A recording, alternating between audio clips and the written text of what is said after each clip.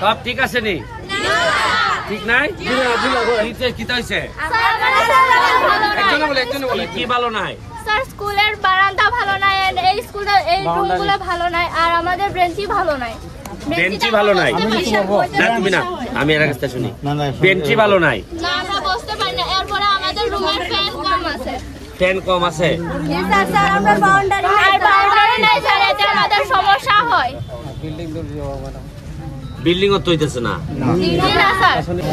আচ্ছা শুনো।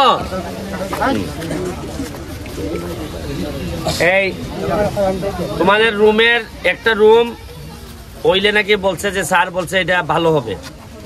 রুমেরটা আমি মেনটেনেন্সের কাজ ধরাই দিয়ে এটা করাই দিতেছি। আর তোমাদের ফ্যান যেটা কম আছে এটা না ফ্যানেরটা দিয়ে দিব না আমি। ফ্যানের এই যে কয়টা ফ্যান আছে? এই যে এইলা কেন অজ্ঞান গেছে কেন এইলা অজ্ঞান গেছে দেখি। দেবেন দেবেন দেবেন যান যান অসুস্থ হয়ে গেছে অসুস্থ হয়ে গেছে। এরা কি সবাই যায় না? তোমরা দেখো তোমরা দেখো। ফ্যান আর বারান্দা তাই তো? Sir sir boundary boundary boundary আপাতত যে এটা একটা সরকারি ভাবে বড় করে করতে হইব তো। এখন আপাতত ওইটার মধ্যে গ্রিল লাগাই দেখ ওই যে গ্রিল না কিতা তার কাটা। তার নেট লাগাই দেখ যাতে আর না পারে। আমি আস্তে আস্তে তোমাদের সব করে দিব। কিন্তু তোমরা আমার একটা কথা দিতে হইব। ভালো করে পড়াশোনা করতে হইব কিনা না কই বাজারে ব্যারিস্টার করব সব আর আমরা খালি পাতলা মারে দিব। হ্যাঁ?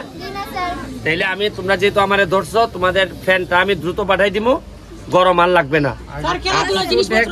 হ্যাঁ? ফুটবলের আগে আপনি কইছিলেন স্যার ফুটবল দেওয়ার কথা ফুটবল দেওয়া হয় নাই। আচ্ছা ঠিক আছে তাহলে একটা কাজ করো আমি এই ছেলে এবং ছেলে ছেলে মেয়েদের জন্য ক্রিকেট বল ফুটবল ভলিবল এগুলোর জন্য আমি এখন পাঁচ হাজার টাকা দিয়ে যেতেছি তোমরা কিনে নিবা ঠিক আছে জি স্যার হাততালি- হাততালি দাও না। আর এই যে বেঞ্চি টেঞ্চি যেগুলো এইগুলো আমি দেখতেছি করব। আর এখন পাঁচ হাজার টাকা দিলাও কই? কই?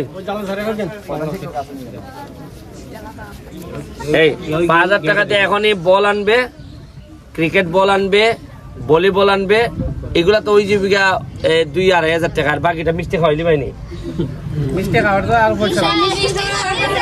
হ্যাঁ? আরও টাকা লাগবে স্যার আরও টাকা লাগবো তো আরও দুই হাজার টাকা দিলাও চালাতে হয়ে গেছে নাও সাত হাজার টাকা দিয়ে গেলাম আমার ফ্যান পাঠাই দি মনে। তোমাদের জন্য তোমাদের জন্য আমি সব দিতে রাজি। কিন্তু রেজাল্ট ভালো করতে হইব। রেজাল্ট না ভালো না করলে আমি সোনারঘাটে আগাই নিয়ে যেতে পারব না।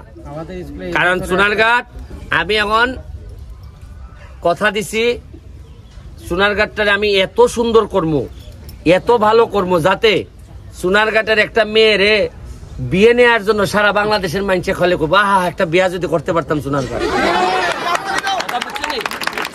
পড়ালেখা না করলে আমি পারতাম না। তোমরা আমার কথা দিছো তো পড়াশোনা করবা তোমাদের যা লাগে আমি করে দিব কথা বুঝছ? আর আমি কোনো এমপি টেমপি না আমার সুমন ভাই ডাক ভাই ঠিক আছে? যদিও তোমার বাপেও আমার সুমন ভাই ডাকে। আচ্ছা জায়গা আমি আমি একটা 谢谢大家。